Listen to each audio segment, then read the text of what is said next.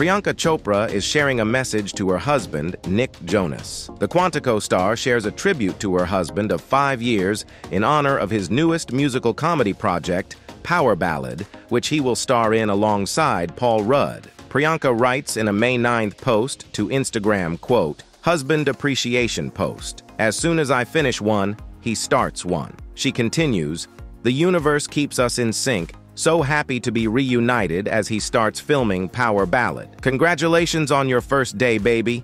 There is no one who works harder than you. This is going to be amazing.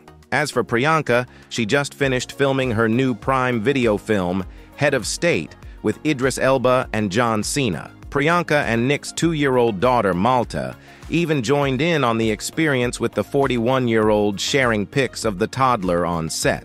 In her May 8th Instagram post, she praises her co-workers in front of and behind the camera, writing, quote, a set that was always so full of laughter and professionalism.